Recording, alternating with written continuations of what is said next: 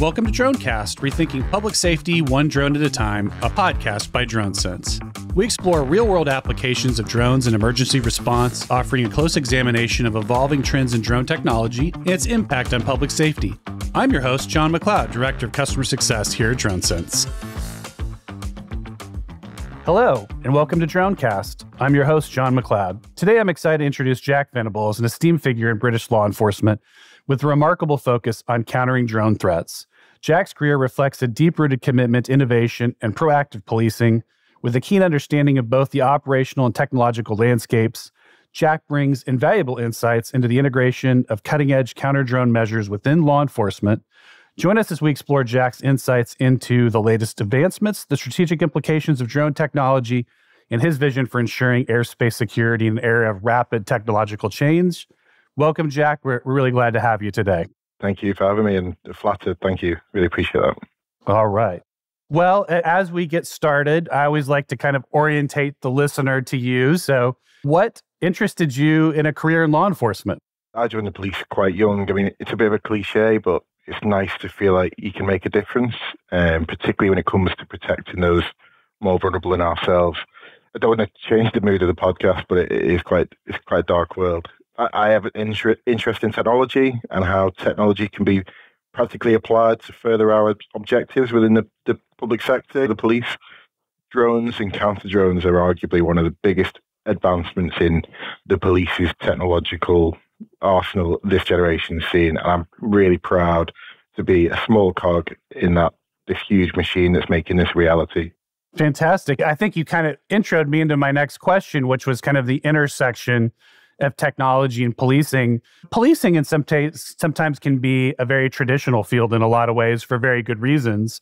And technology is always moving, it's fragile at the edges. And so inherently, there's a little bit of contrast in there. What got you excited about technology within policing per se?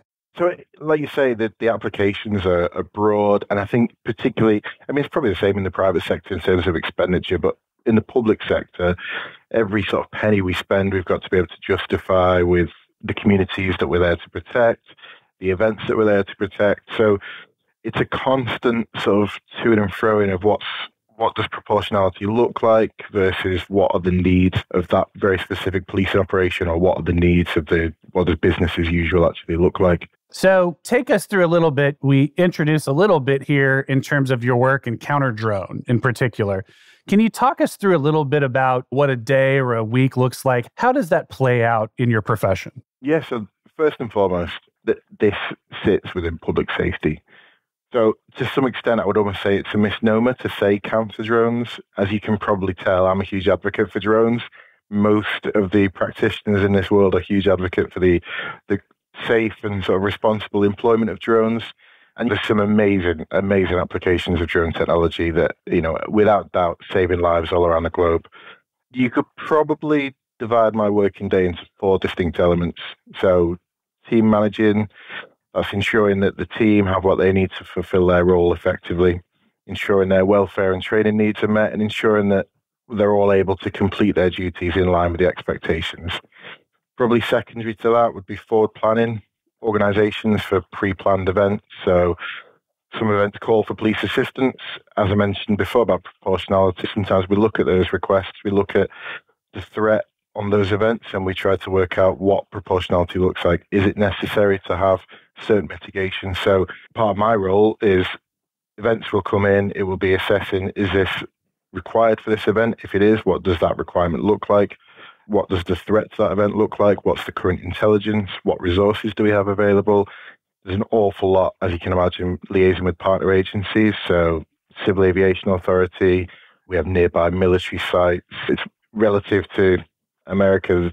There's military sites dotted all over the UK. I'm sure there's the same in America, but we have aerodromes, military sites here, there, and everywhere. We need to be sort of remain cognizant, or part of my role is remaining cognizant to have minimal impact on their business as usual we do, or I do site surveys, assessments to see where drones are likely to take off from. We build tactical plans to effectively mitigate against any aerial threat. And then third, probably reactive. So come in, come on duty, or some point throughout my shift, a report of a nefarious drone or a near miss involving an uncrewed aircraft, and I'll have a look at that and see how me and the team can best investigate that matter and what risks that might pose to the public.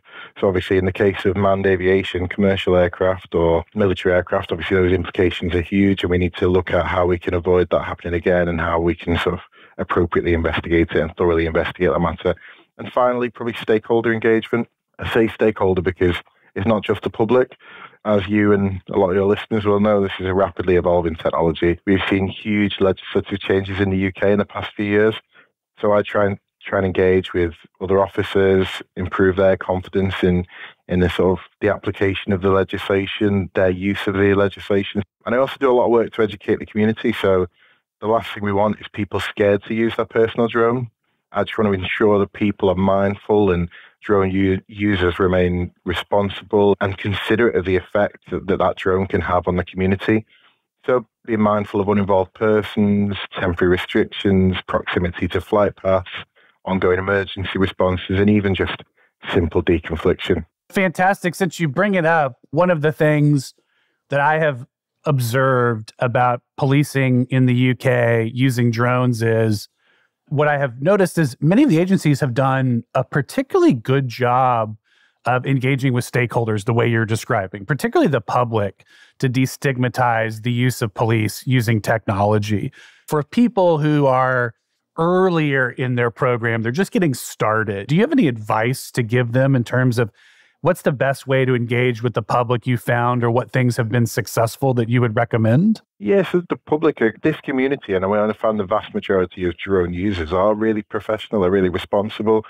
And I think opening those channels of engagement early are what helps you sort of build those relationships with people. is like any other business. I mean, the world of some of the police operations necessitates a degree of discretion or there's protected elements. But what we found is we've had public event or I've managed public events before with this specialism, and we found that it's relatively unique in terms of I've not seen it before in other specialisms within the police, but we find that the sort of the rogue, maybe naive drone user will fly near to a restricted airspace or near to a an event, a pre-planned event, and what we see is that if we engage with the, the media over that, that positive action that the, the police took, is that when you look at the comments, you find that there's an awful lot of people who are very pro drone who are actually quite sort of damning of the reckless or the in, the actions of that individual. And I think it's really interesting because obviously, the, certainly in the UK, we base a lot of our policing on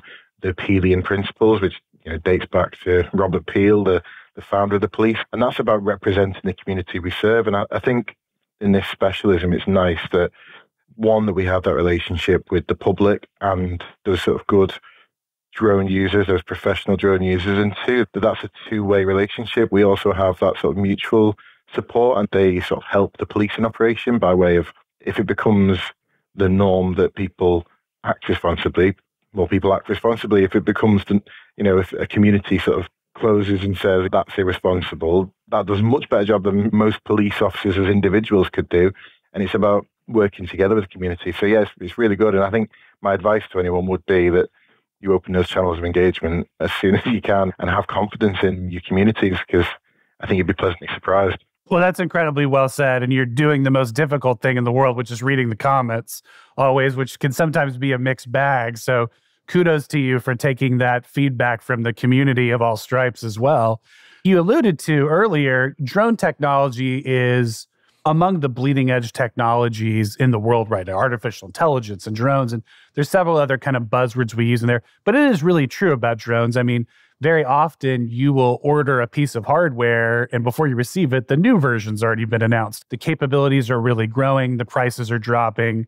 It moves very quickly. How did you learn about drone technology and how do you keep up with that just rapidly evolving space? I learned about it by sort of personal experience. So just by virtue of the where I was working at the time, it came into my sort of professional world. In terms of keeping up, I mean, you've raised some really good points. I mean, just in the time I've been in this role, we've seen huge advancements in range, battery life, all cap payload. I mean, the Skycart's just been advertised or is now starting to be advertised. It's, we're seeing huge developments. And I think it's a real balance for the public sector at large, but specifically to the police, because we have to justify, as I said before, every penny we spend.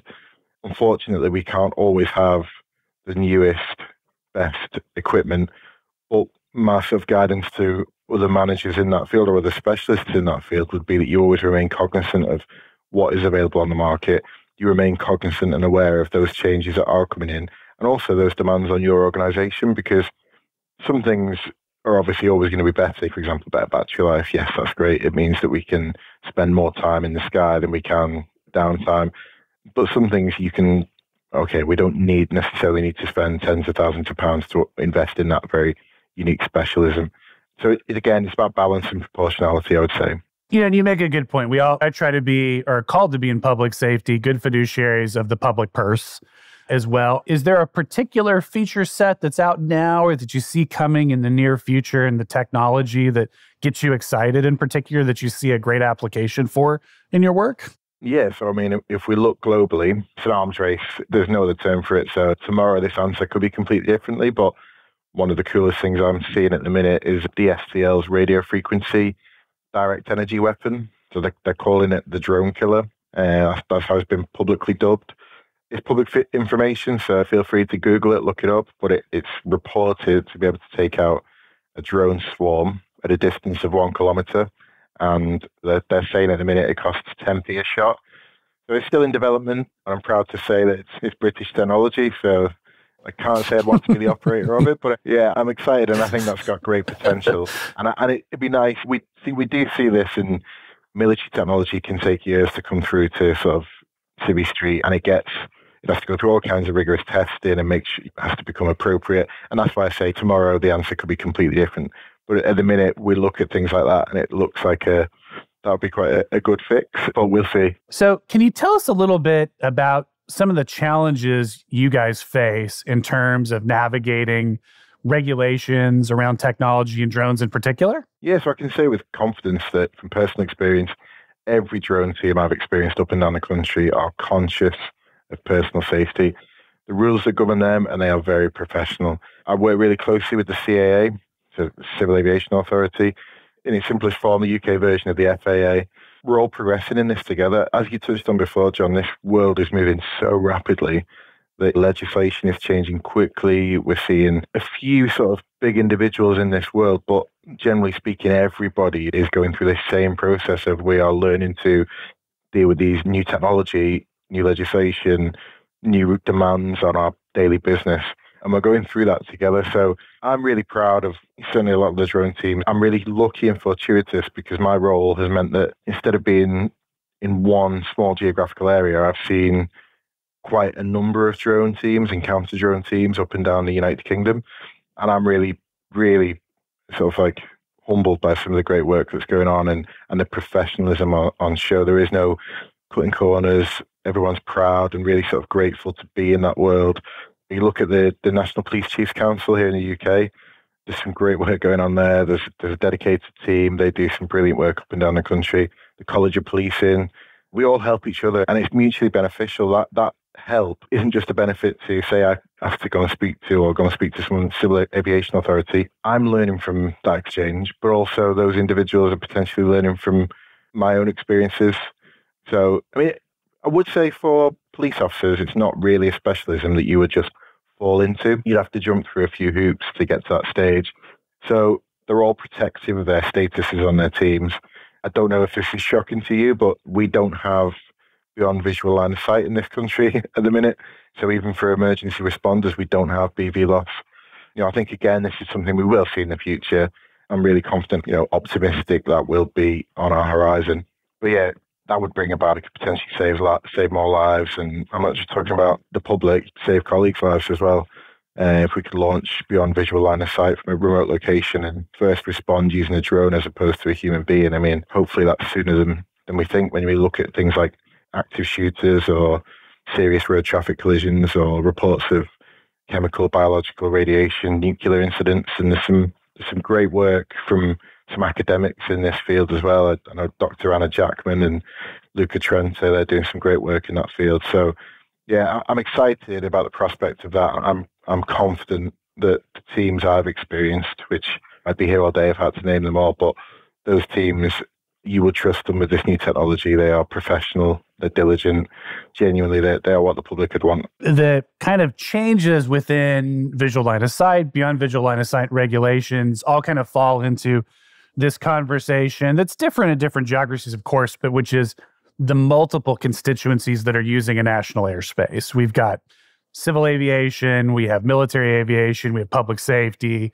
Deconflicting that airspace and keeping it safe is critically important for safety in our communities.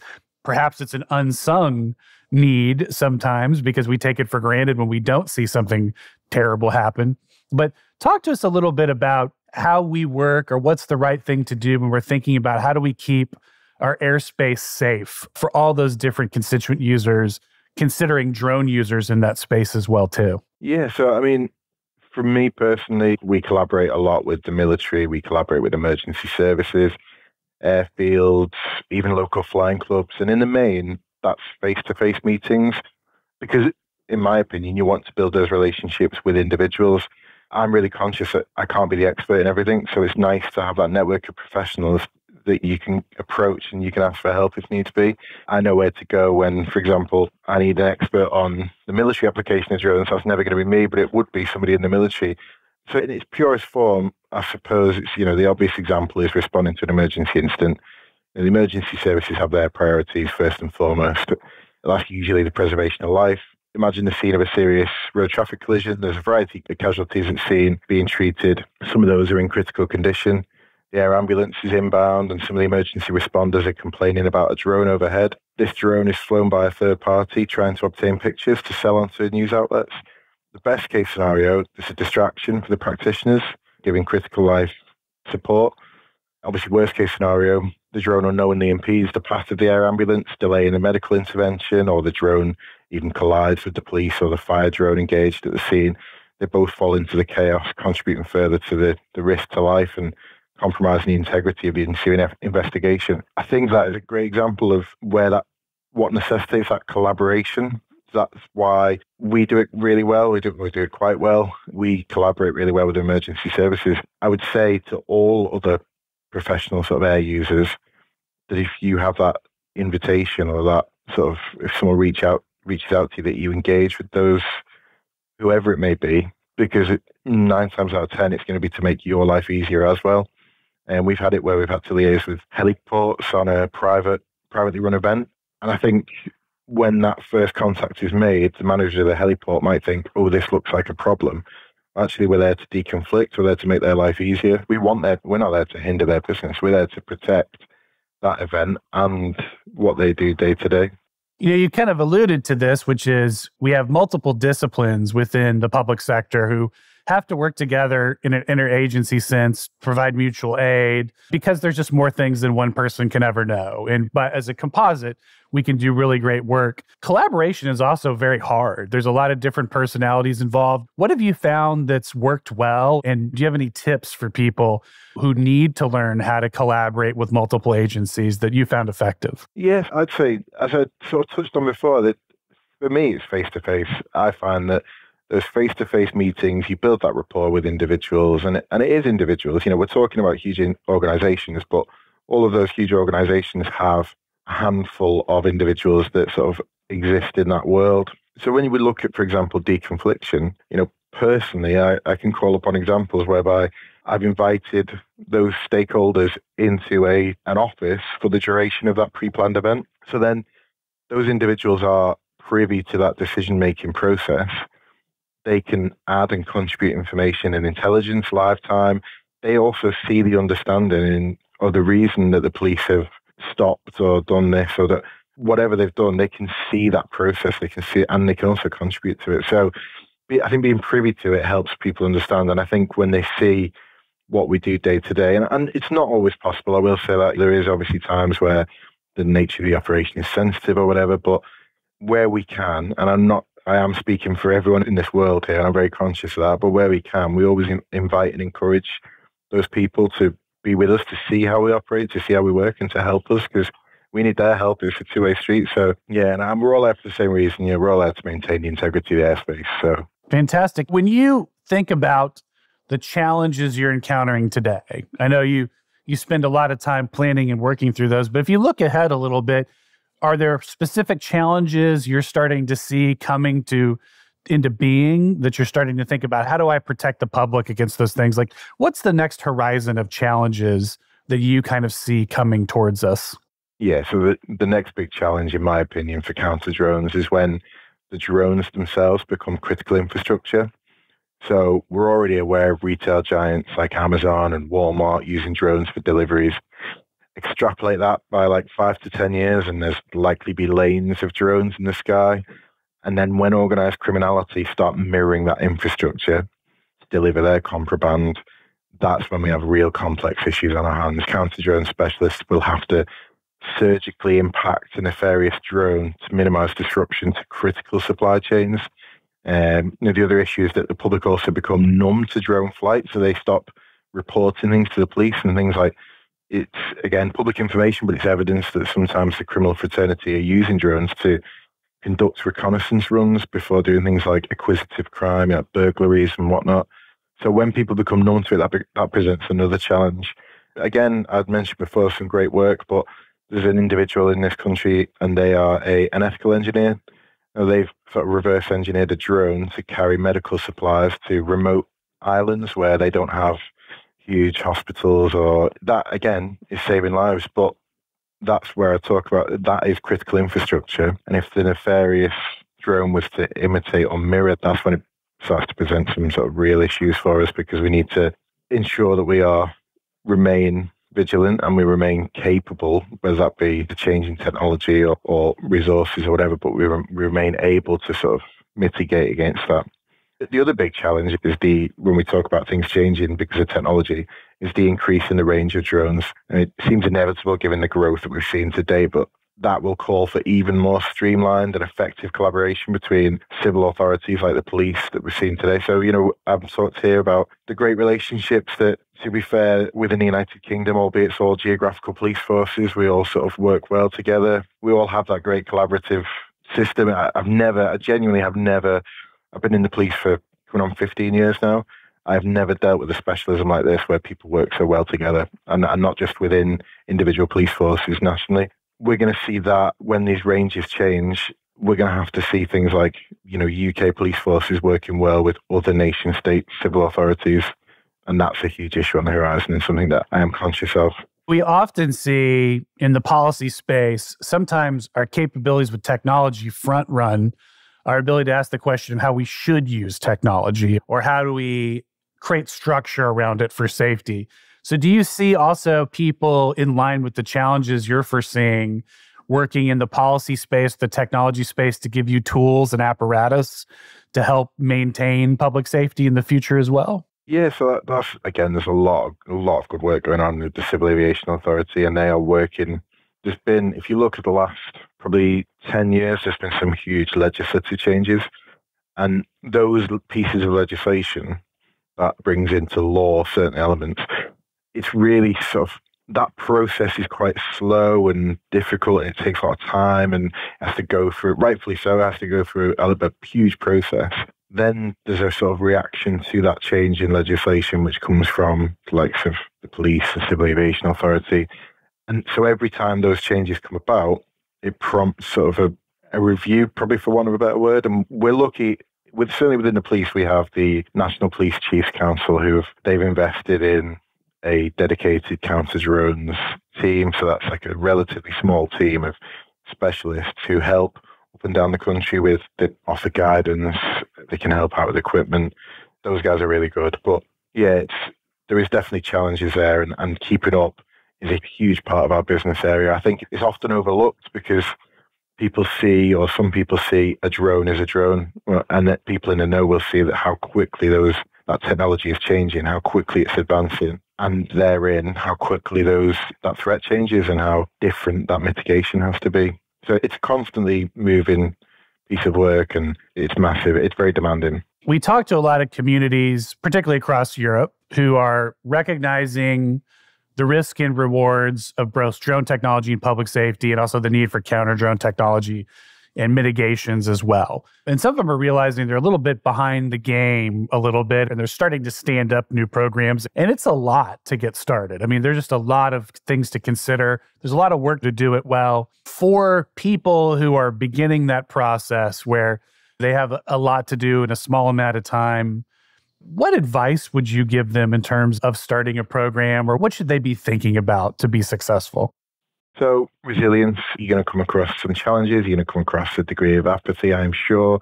But, you know, stay motivated, stay, concentrate on your mission that you set out. Because I'm sure if it's within the, certainly within the policing world, that motivation, that mission will be around protecting the vulnerable. Utilize resources. There is loads of people in this field, loads of specialists officers that can help you reach out to them. Don't necessarily have to be in your same jurisdiction or geographical area. Just reach out and ask for help. Likewise, I've found academia. There's a lot of academics who do have done a lot of research in this field, and they will help out quite significantly. They can present you with facts and figures and whatnot to approach those the people who, who control the purse, for example, and help you with that that objective. I think it's not necessarily an easy job. I'm personally quite proud. I was in a, a northern police force and I stood up the counter UAS capability from nothing. It, it, there wasn't one at the time when I sort of established it.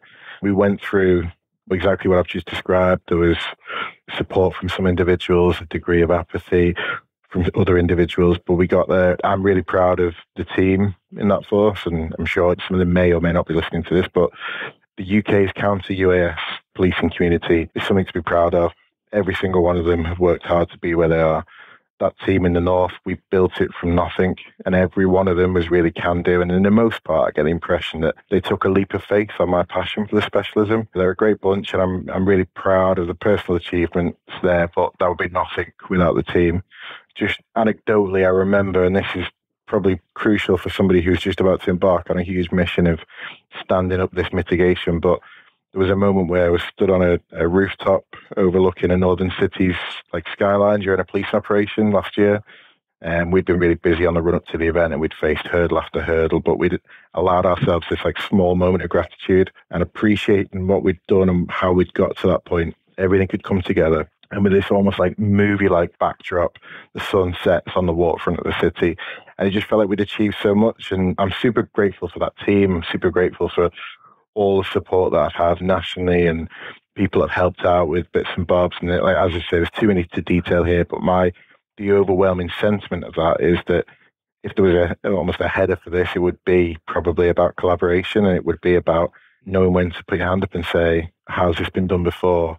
If it hasn't been done before, what does this look like? What help is available? And having the confidence to ask for that help. Awesome. I mean, those are all the big questions I have for you today. And so usually this is the time in the podcast I, I pass the microphone back to you. If there's something you'd like to shamelessly plug or highlight that you're working on, we'd love to hear about it. No, sadly, no, I've not got anything to plug, but yeah, you can find me on LinkedIn if you want to reach out directly. But yeah, no, unfortunately, I've not got anything to plug. So, well, fantastic. Well, Jack, thank you so much for taking time to visit with today and share your insight. You obviously are incredibly sophisticated in what you do. And so hearing directly from somebody like you, I know means a lot to our listeners. So I thank you for investing some time with us today. And thanks to everyone who's listening on the internet and for listening to Dronecast. We will see you next time. Dronecast, rethinking public safety one drone at a time, is brought to you by DroneSense. To find out more about DroneSense and how our comprehensive situational awareness platform can help you fly, share, and manage your drone program, please visit dronesense.com. That's D R O N E S E N S E.com. And then make sure to search for Dronecast in Apple Podcasts, Spotify, Google Podcasts, or anywhere else that podcasts are found. Please don't forget to click subscribe so you don't miss any future episodes. On behalf of the team here at DroneSense, thanks for listening.